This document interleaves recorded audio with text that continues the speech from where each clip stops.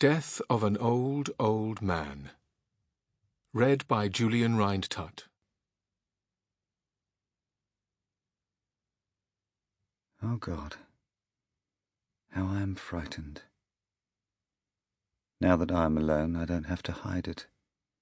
I don't have to hide anything any longer. I can let my face go because no one can see me. Because there's 21,000 feet between me and them, and because now that it's happening again, I couldn't pretend any more even if I wanted to.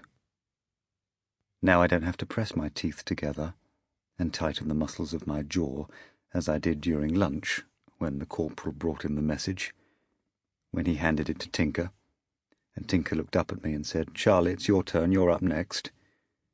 As if I didn't know that. As if I didn't know that I was next up. As if I didn't know it last night when I went to bed, and at midnight when I was still awake, and all the way through the night. At one in the morning, and at two, and three, and four, and five, and six, and at seven o'clock when I got up. As if I didn't know it while I was dressing, and while I was having breakfast, and while I was reading the magazines in the mess, playing shove halfpenny in the mess, reading the notices in the mess, playing billiards in the mess. I knew it then, and I knew it when we went into lunch, while we were eating that mutton for lunch. And when the corporal came into the room with the message, it wasn't anything at all. It wasn't anything more than when it begins to rain because there is a black cloud in the sky.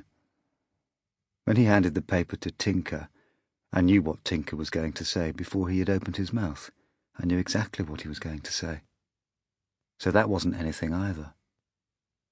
But when he folded the message up and put it in his pocket and said, Finish your pudding, you've got plenty of time, that was when it got worse.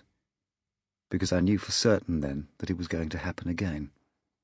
That within half an hour I would be strapping myself in and testing the engine and signalling to the airmen to pull away the chocks. The others were all sitting around eating their pudding. Mine was still on my plate in front of me, and I couldn't take another mouthful. But it was fine when I tightened my jaw muscles and said, Thank God for that. I'm tired of sitting around here picking my nose. It was certainly fine when I said that. It must have sounded like any of the others just before they started off. And when I got up to leave the table and said, See you at tea time, that must have sounded all right too. But now I don't have to do any of that. Thank Christ I don't have to do that now. I can just loosen up and let myself go.